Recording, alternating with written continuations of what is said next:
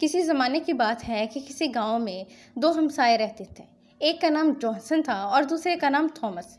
दोनों के अपने अपने घर थे और सेम ही घर थे। दोनों के अपने अपने घर के सामने एक बगीचा था। दोनों के सेम ही उम्र के दो दो बच्चे थे। मिस्टर जॉनसन, जो दूसरे का मिस्टर थॉमस का हमसाया था, उसके दो बच्चे थे, एक का नाम टीम और दूसरे का नाम माया था।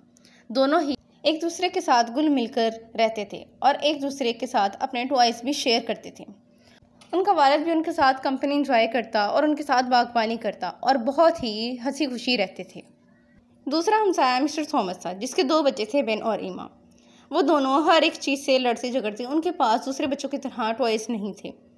वो भी उन दूसरों बच्चों की तरह नए कपड़े और अपने बाप की अटेंशन चाहते थे। कि उनका वालद भी उनके साथ हँसी खुशी रहे और खेल कूद में हिस्सा ले। एक दिन मिस्टर थॉमस ने फैसला किया कि मैं अपने बच्चों को वैसे ही कपड़े लेके दूँगा, बहुत ही अच्छे अच्छे कपड़े और एक्सपेंसिव उन्हें चीज़ें लेके दूँगा और साथ ही उन्हें मार्केट में ले गया। बच्चों ने अपनी मर्ज़ी से खिलौने और कपड़े खरीदे, लेकिन जब वो घर आए तो तब भी वो आपस में लड़ झगड़ रहे थे और अपने खिलौनों को एक दूसरे के साथ बांट नहीं रहे थे। मिस्टर थॉमस ने देखा कि हमसाए के बच्चे आपस में बहुत अच्छे तरीके से खेलते हैं और अपने टॉयज़ भी एक दूसरे के साथ शेयर करते हैं और वो आपस में बिल्कुल लड़ते झगड़ते नहीं। और उनके वारिस भी उनके बच्चों के साथ बहुत अच्छे तरीके से रहता और खेलता कूदता। एक दिन मिस्टर जॉन्स अपने बच्चों के साथ बैठ गया और उन्हें बताया कि खुशी चीज़ों में बांटने में में है और उन्हें रियलाइज़ करवाया कि बेटा मैंने तुम लोग के साथ अच्छा नहीं किया, मुझे भी तुम लोग के साथ खेलना चाहिए था और तुम लोगों के साथ अच्छा ट्रीट करना चाहिए था।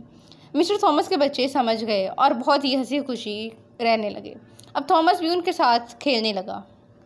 अब दोनों फैमिलीज़ आपस में बहुत ही हँसी खुशी रहने लगे। अब दोनों में जो है हसद की जो है कि उसके पास चीज़ है, मेरे पास नहीं ये चीज़ ख़त्म हो गई। क्योंकि थॉमस ने अपने बच्चों को समझा दिया कि एक दूसरे के साथ चीज़ें शेयर करना ही असल में खुशी है। और जोन्स भी अपने बच्चों को समझाता कि, बेटा, अगर आप एक दूसरे के साथ अच्छे तरीके से रहोगे तो आप बहुत ज़्यादा खुश रहोगे। चीज़ों में क्या रखा है? जब तक आप खुश ना रहो। तो इस तरह दोनों फैमिलीज़ आपस में कनेक्ट हो गई और उनके बच्चे भी आपस में खुशी से रहने लगे और उन्हें समझ आ गया कि चीज़ें बांटने में खुशी है, बल्कि एक दूसरे को ना देने से लड़ाई होती है।